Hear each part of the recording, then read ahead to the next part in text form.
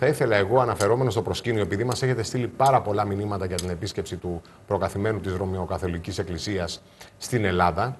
Ε, ναι, είπε για το χαμόγελο των παιδιών και βέβαια, διότι εμείς ως Έλληνες και Ορθόδοξοι διαχειριστήκαμε την κρίση, προστατέψαμε χιλιάδες ζωές, τα παιδιά τα αγκαλιάσαμε, γιατί αυτός είναι ο πολιτισμός μας.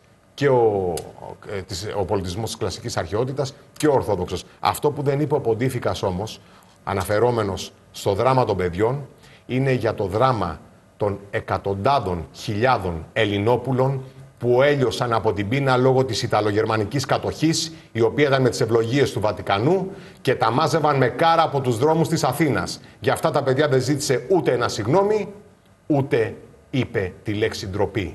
Ας την πούμε λοιπόν εμείς.